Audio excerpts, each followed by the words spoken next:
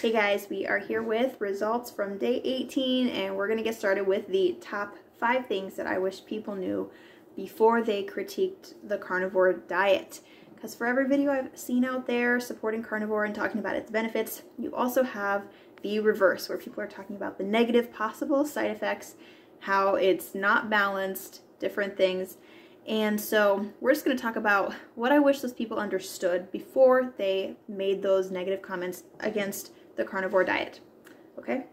Reason number one is the biggest critiques of the carnivore diet are overwhelmingly people who have never even tried this diet. If you haven't tried something, you know, you may not want to say too much negative about it, especially considering point number two, there are people who have been on this diet for 15 years plus, still going strong, doing wonderfully, and they're in great shape, best shape of their lives okay? Maybe it's not for absolutely everybody, but just the fact that a human being can survive, and not just survive, but thrive for that long on a diet tells me that there's something to it, okay? Because if it were as horrible for you as the standard American diet, people would not be able to do this well on it for that long. Number three, doctors who have gone to med school, they spend 6,000 hours plus average in medical school in the course of their eight years, and only 20 of those, on average, for US doctors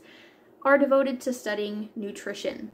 Okay? That is such a tiny, tiny fraction of their education that it just really kind of frustrates me when people say things like, oh, my doctor doesn't think that this is a good idea, or my doctor doesn't think that this will work, or my doctor thinks this is dangerous. And it's like, okay, how many hours or days or years of experience does your doctor actually have in studying and learning about nutrition? There are plenty of doctors who also agree and support the carnivore diet because they've actually tried it and they've been researching it with their eyes and mind open instead of coming at it from a traditional med school training mindset that doesn't even teach you about these things. And I get it, like, I mean, I don't want to be like a newbie coming on here critiquing all doctors because obviously I have not done like half of the studying that they have.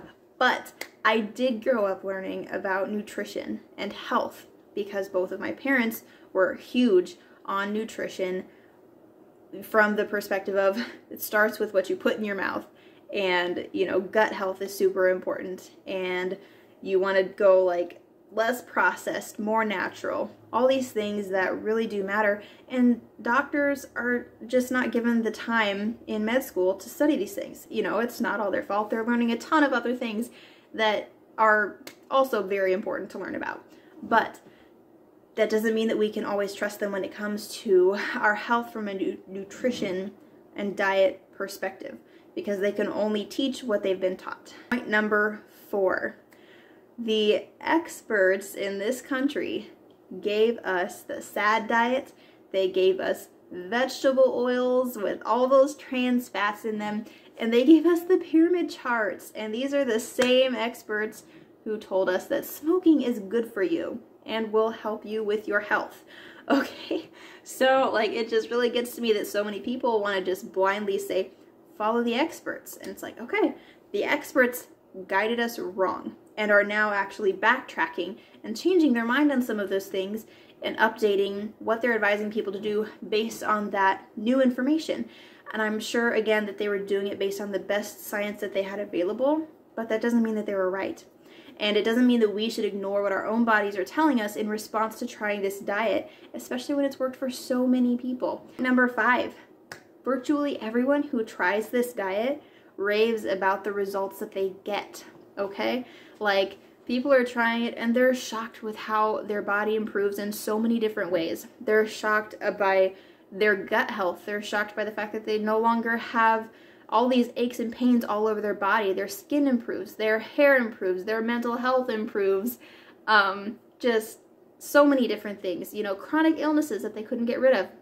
Gone. Like, no more. So when people come to you and they're like, oh, you shouldn't do this diet, it's dangerous. Are you sure about this? It's like, well, let's look at the evidence that we actually have available. Let's actually talk to people who have tried this diet before, and then let's kind of make a decision about the diet based on reality and not based on potentially very incorrect assumptions about the possible side effects or lack thereof of this diet, okay? There are probably a lot of you that watch this channel already know that because some of you are much longer time carnivores than I am, so yeah, but just here's an encouraging video. Like, you're on the right track. We're all just trying to learn out here, and I think we can be respectful of our doctors and our, you know, health educators' opinions without just taking it all as gospel, because it just isn't always. It's not always factual. It doesn't always work for everyone.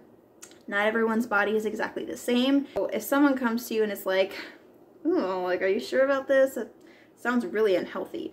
You know, maybe come back and have some of these things to say to them to kind of maybe get them just at least thinking about it. And are they really sure about what they're saying or are they just telling you the same narrative that they've been told all of their lives? Going strong, I will talk about a few side effects just real fast. The bloating has subsided. I'll do a video more about that in a few days.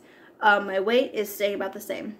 It was at 129 like a while back. It is not budged from there. It's staying the same. And I have felt, I would say, some like maybe surges of cortisol, I want to say, because I get those like spikes where I feel like almost like angsty and like easily irritated.